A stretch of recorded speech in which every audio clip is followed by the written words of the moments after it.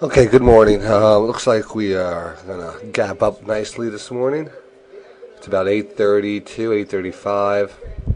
Um, looks like GM has come to an agreement with the United Auto Workers um, Guild Union, and that's causing the market to gap up nicely, up uh, 52 points as I speak right now at 13.920 but I wouldn't ex- expect to see this uh, hold all day. I mean, this market's really extended up here. Gaps are very hard to trade, but because this news is uh, in the market right now, I'm sure that GM will continue to hold this market at least at this level. But don't expect a push too much higher. You know, who knows? You know, who really knows? This is uh, becoming a very crazy, crazy market these days. I'm actually seeing seeing um, signs of a uh, a bubble forming almost. I see these moves in these stocks, you know, Apple and these solar stocks and everything going up four or five points a day. It's just like, uh, yeah, it's like 1999 all over again. Anyway, um, uh, a lot of things just gapping up this morning. CME, all the exchange stocks look good today again. You know, they're going to have a run over. I should have got into CME yesterday as it was added to the, uh, I believe, uh, S&P 500. So that was up like 13, 14 points yesterday. Now it's up another five points this morning.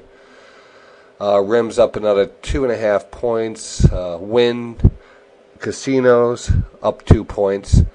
Google up a dollar ninety. Uh, Monsanto is going to have a conference today. They were talking about that on Fast Money yesterday. It looks great at 82.55. I see this one going to 100. I'm probably going to try to get on a trade on this one. Of course, Apple, uh, the juggernaut Apple, is uh, up a dollar 68, and then ICE, another exchange stock, and 9X exchange stock up both like nightly. Garmin, of course, Goldman Sachs, and then uh, New York Mercantile Exchange up a dollar twenty. I'm in on that one. I would watch that one closely today for any rumors or any uh, movement towards 130. And uh, as you see, things are starting to move here. So it's going to be an interesting day. Also, keep an eye out on AXR. AXR. It's a housing. Uh, it's in the housing sector. Has a extreme amount of shorts on it, and it's getting to a point where there's going to start. Some shorts are going to start covering this stock. This thing is just was 130 something dollars. Now it's 26 dollars. I have no idea why. It's just the shorts are pounding this one, pounding it. But one day it's going to turn around and it's going to have a short squeeze like no other.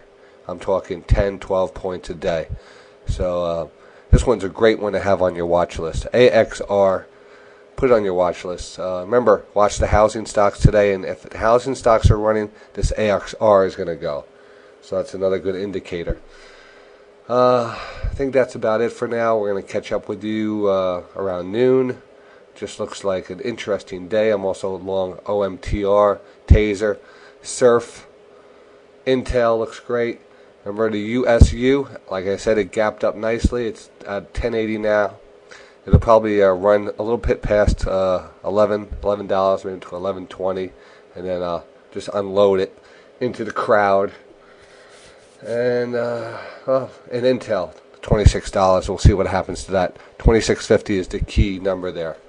So enjoy. Have a good morning. Don't get carried away on this gap up. Remember, uh, they could fade this market very easily all day.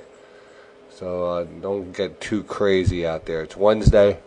Uh, and uh, just keep your watch list. Get on the momentum. The momentum seems to be working really good, so it's really a great trade is to uh, watch what closes very strong around 4 o'clock and then buy and hold overnight and get rid of it in the morning, especially if it's on record volume and it's closing on its highs and the momentum's behind it because uh, these things last a few days. This is not, you know, this is not the normal stock market anymore. We're getting back to the crazy days. We might as well enjoy them.